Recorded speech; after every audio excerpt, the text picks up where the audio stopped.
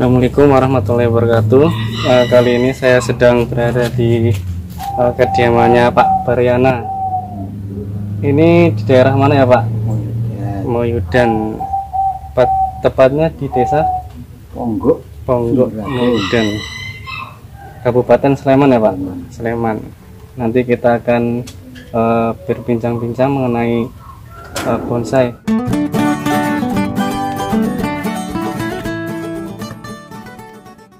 Ini sedang apa ya Pak? ini baru eh, mengawati kembali Hmm, mengawati. dilakukan sama koreksi ranting Ya udahlah eh, sehari-harinya eh, mengajar di gimana ya Pak? di IPGRI IPGRI Iki PGRI. Ini bahannya dari mana Pak dulunya? Ini dari temen apa hasil temen dari ya temen yang ambil di pekarangan kemudian Hmm. kita Hmm, hasil dongkelnya Pak ya. Nah, kemudian kita repotting atau kita besarkan baru kita tata Oh ini berarti sempat di ground atau langsung di pot ini Pak? langsung dulu sempat saya ground sebentar untuk pertumbuhan Hmm. percabangan percabangan yang memang nanti kita harapkan Hmm. Setelah percabangan itu mulai seperti yang kita harapkan kita angkat di sini sudah perantingan Oh sudah ke tahap perantingan ya. perantingan bahkan sudah mulai sampai anak ranting Nah untuk eh, medianya, media tanamnya itu apa Pak? ya seperti serut-serut biasanya Oh, saya lihat ini campur tanah atau pasir. tanah sama pasir malang Hmm, pupuk kandang dan sedikit sekam Pak. sekam sekam ya. Untuk pupuknya pakai dekaster atau cuman Ya, pakai kalau- pupuk kandang Pak? kalau sudah di pot begini Ya. ya ditambah dengan dekasta Oh, iya. lebih hanya kalau mengandalkan pupuk kandang kalau potnya nggak besar kan nanti nutrisinya kurang Nah untuk apa? Untuk gayanya sendiri ini gaya apa ya Pak? ini dobrak Mas. Dobrak. Hmm. Untuk ininya apa? Eh, mahkotanya itu sebelah mana ya Pak? ini hampir tiap eh, cabang besar Ya. kami beri mahkota Hmm, berarti cu- nggak cuma satu ya Pak ya? tidak Hmm, jadi nggak monetan ya, sangat eh, nggak membosankan. Terkesan apa? Luas. luas ya kita lihat aja berapa harusnya kan setiap cabang besar berbeda dengan pohon formal Iya. pohon formal mahkotanya biasanya cuma satu, Satu. tapi kalau eh, pohon seperti ini ya model jubrak seperti ini ya tiap cabang besar itu baiknya kita kasih mahkota Hmm. jadi mahkota itu juga tergantung daripada eh, model bonsai yang kita buat ya kebetulan kami ngegronya Hmm. bagian besar adalah enteng putri Hmm. Eh, serut itu kebetulan juga dulu saya banyak belinya itu juga bahan-bahan serut Iya. saja nggak ada alasan sekarang semuanya kan bisa dibonsai Iya. tergantung dari tangan-tangan terampil Ya. punya jiwa Dari kreatif kreativitas sendiri ya Pak ya. Hmm. saya sendiri itu sebetulnya juga nggak belum belum mahir seperti ini ya untuk ya cuma coba-coba wong barang sesuatu yang terlihat kan mestinya kita bisa. Kalau kita mau belajar ya akan bisa. Yang penting pohon kelihatan luas syukur bisa seperti di alam nyata. Alam yang sebenarnya karena bonsai itu sebetulnya kan miniatur dari pohon yang ada di alam Nah untuk eh, pemilihan cabangnya itu eh, kalau dari awal emang udah diseleksi atau Iya. uh, di program atau gimana pak? Nah, kita seleksi mas sesuai dengan eh, batangnya, Hmm, alur batangnya. Jadi ya, kita harus melihat bahwa yang namanya cabang daun itu kan ya. Kalau yang namanya pohon itu kan mencari sinar matahari. Kalau ini ke sini itu berarti kan Arahnya ke matahari ya pak? ini jangan balik ke sana. Biasanya kalau gini kan pohon seperti ini di Iya. pinggir tebing kalau di alamnya. Hmm, Hingga di sini ketutupan, tertutup ya larinya ke sana mencarinya. Maksudnya kan seperti itu. hmm. Jadi apa? eh, menyesuaikan eh, yang di alam. Iya, kita buat bonsai kalau bisa ya menyesuaikan sesuai dengan kondisi real di alam. Nah untuk eh, pembentukan itu ada pakam-pakam khususnya nggak pak? Kalau saya juga belum banyak paham betul ya memang ada. Tapi ya sesuai dengan karakter pohonnya. Iya. Pohon model sinensis ya. Mungkin kalau dibuat seperti ini juga susah. Kan karakter pohon sendiri-sendiri. Mhm. Nah, Untuk perawatan khususnya gimana Pak? Untuk eh, eh, pemupukan semisal kayak eh, hama itu bagaimana Pak? Ya disesuaikan kalau hama kutu putih ya kita semprot pakai urakron atau apa. Kalau hama ini apa jamur Ya. ya kita pakai fungisida ditan atau apa. Nah itu rutin berapa bulan sekali Pak? Kalau saya nggak rutin tergantung daripada situasi. dan Oh, berarti kondisional ya Pak ya?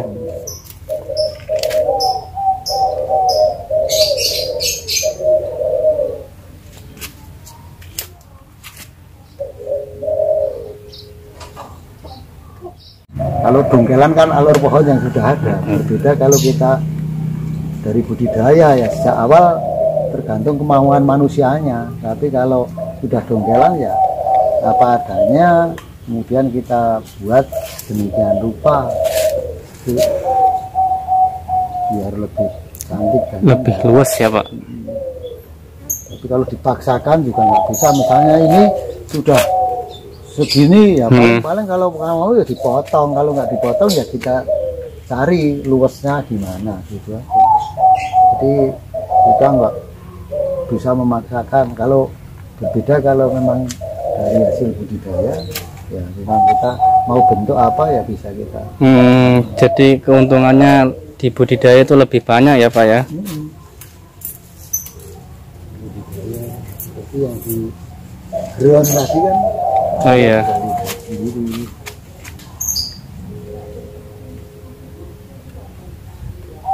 Nah, saya kan ini kan masih pemula, Pak. Eh, ada tips untuk memilih pohon eh, untuk di trainer di kemudian hari.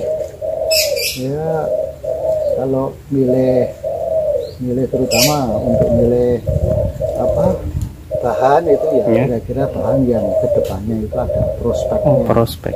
Kalau nggak ada prospeknya ya nanti ya maksimal cuma segitu tapi kalau Hmm. pohon yang prospek Ya. itu ke depannya ya insya Allah ada nilai lebihnya Hmm. ini yang perlu dipelajari kan itu bisa membedakan pohon yang prospek atau tidak itu kan ya kita memang harus banyak Banyak belajar ya, dari senior. Ya. ya, Kayak Pak Subaryana ini. Saya sendiri sebetulnya belum belum banyak banyak juga main seperti ini tapi ya kita cobalah pokoknya memberanikan diri paling tidak Hmm. ya pola-pola dasar itu kita harus.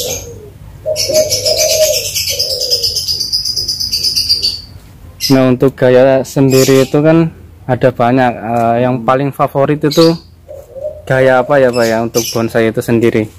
tergantung dari anu mas dari eh, pohonnya Oh, Tapi berarti yang sekarang banyak yang banyak di yang formal itu kan model Mayogi ya. Hmm, ya. Kan So- kalau saya menyesuaikan apa ya eh,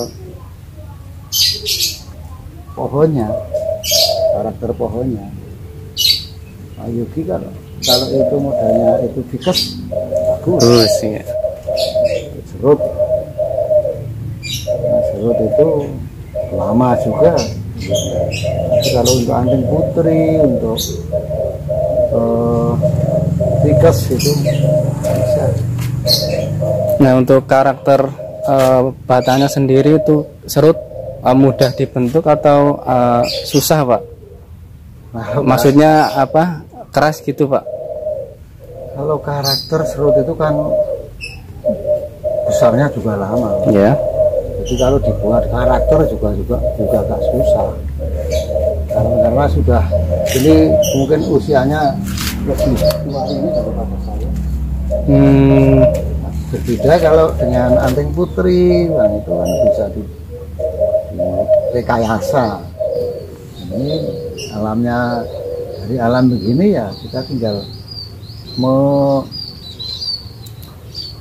mempercantik aja dan menjadikan agar lebih terlihat bagus. Jadi kalau untuk seperti yang kita harapkan gini gini gini gini program dengan pemikiran kita ya agak susah. Soalnya ini lama besarnya sampai pada aja perlu waktu yang enggak singkat ya, Pak. hmm, Nah, Pak, Bar ini kan eh, budidaya juga. Nah, keuntungan budidaya tersendiri itu apa, Pak? ya kita utamanya bisa kalau ingin me- apa membuat bonsai Ya. bisa sesuai dengan Kemauan sendiri. kita. Oh, iya, jadi kita bisa sejak awal mempersiapkan yang seperti apa yang kita kita buat kita pola sejak awal. Bukan nemu Iya. yang sudah besar. Iya. sekarang serut juga mulai ada yang mulai merogram dari awal. Jadi ya lama karakter pohonnya memang ini tapi kalau seperti waru itu kan cepat sekali kalau waru Jadi itu semuanya kan tergantung daripada pohonnya Hmm. masing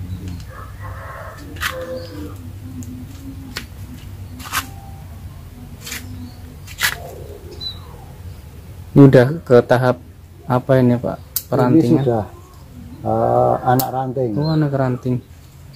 Tinggal kita mau mem- me- ini apa? Me anu. Mengarahkan, Pak. mengarahkan dan koreksi. Hmm, koreksi mengurangi yang kira-kira tidak cocok tidak pas dan mengganggu. Kita cari kita motong biarnya nanti lebih nyangkrang gitu. Hmm,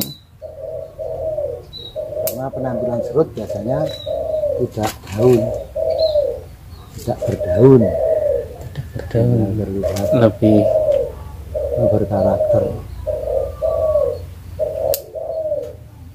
Nah, kembali lagi ke media ya, Pak. Eh, ini apa ganti media itu berapa bulan sekali, Pak? saya tidak eh, menarget ya selama pohon itu masih normal Ya. ya saya ganti tapi kalau memang sudah eh, kelihatan pohon kok mulai pertumbuhannya kurang bagus kita lihat medianya kalau medianya padat Jenuh. sudah jenuh ya kita ganti jadi nggak ada oh seperti anu sekian bulan Oh iya, target-targetnya ya, Pak. tergantung situasi dan kondisi Nah, kalau pohon terlihat jenuh itu apa? Terlihat dari apanya, Pak? Ciri-cirinya Dari semisal kayak daunnya? pertumbuhannya juga kurang sehat Mm-mm. daunnya juga kurang sehat itu akan terlihat Nah, pas ganti media itu eh, berani cuci akar pak untuk serut Eh, sebaiknya ditinggal terutama serabutnya dan sedikit tanahnya kalau saya nggak berani kalau Hmm. serut berbeda dengan anting putri kalau serut ya harus kalau saya ya ya itu mesti ada ada apa ya ada yang tanah yang kita tinggal. Jadi tidak dicuci akar semuanya cuma dikurangi dan pemotongan berapa akar yang mungkin sudah terlalu banyak atau terutama akar-akar serabut biar atau dibaharukan lagi. Untuk eh, apa serut ini cenderung suka panas atau Panas, yang lembab panas. pak? Sesuai dengan alamnya serut itu kan panas. Kalau di tempat yang teduh biasanya daunnya jadi besar-besar. Oh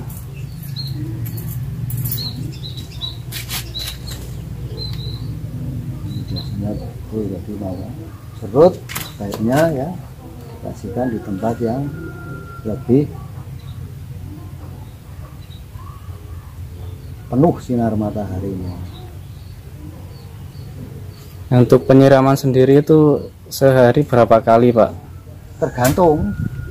Kalau memang dibutuhkan ya selama medianya masih basah ya nggak perlu disiram. Tapi kalau Hmm, medianya iya. kering jadi eh, kita merawat pohon itu ya kita lihat situasi dan kondisi oh, berarti harus eh, medianya. paham karakter pohon itu sendiri ya pak dan yang dan medianya kita lihat medianya Hmm, kalau iya. medianya masih masih basah kenapa kita kalau kita anu kita paksakan untuk di apa di siram nanti malah bacek Nah, untuk apa? Anting apa? Serut ini cenderung suka eh, air kayak anting putri atau eh, enggak, Pak? enggak kalau serut itu secukupnya beda Kalau air kan memang apa eh, habitatnya di lahan gambut Kalau Hmm, serut kan di gunung pegunungan atau pekarangan.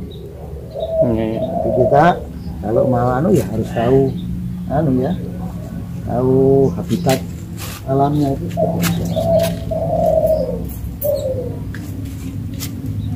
Nah, untuk eh, cara budidayanya sendiri bisa melalui apa aja, Pak? Setek, cangkok, semisal?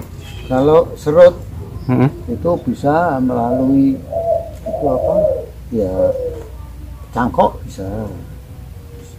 Kalau setek saya belum pernah. Oh, Tapi berarti saya, dan saya belum pernah budidaya serut.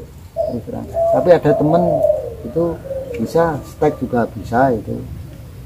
Tapi kalau bisa ya eh, itu di program akarnya oh, ada yang di apa pakai semen atau apa itu. Tapi saya sendiri bu- nggak budidaya serut cuma dongkelan. oh dongkel. Kalau dongkelan nanti saya ground lagi Ya. kemudian saya pilih cabang-cabangnya yang mau dipakai yang mana kita tumbuhkan sehingga bisa sesuai dengan apa yang kita inginkan Iya. Nah kan Pak Bar kan beli dari apa? Eh, dongkelan. Terus di di program ter- eh, terlebih dahulu di apa di pot. Nah, semisal mau mau di ground itu nunggu hujan atau panas gini berani Pak? oh kalau panas pas musim panas ya berani Hmm, kayaknya ya kita kalau di ground ya di paranet dulu kalau di oh pakai panas. paranet. Hmm.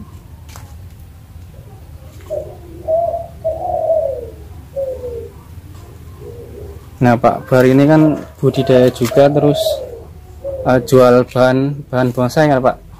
Ya kalau ada yang butuh kan ada bahan yang bisa di kalau cocok Semisal teman-teman mau ke sini atau mau beli bahan bisa eh, ada apa nomor yang bisa dihubungi Pak? bisa ya. di 081 081 ya 5686 hmm. 2067 ya terima kasih banyak Pak Bar atas ilmunya. Sama-sama mas. Kita sudah sama-sama belajar. Pokoknya yang penting ada kemauan pasti ada jalan. Moto kita. Nah.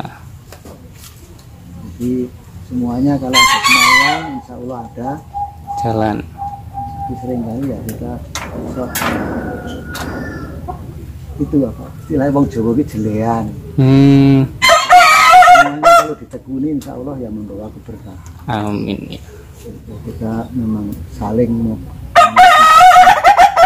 di semua pekerjaan kalau kita tekuni insya Allah ya berkah apalagi ini makhluk Allah ya. Memberikan kepada kita. Kalau kita rawat benar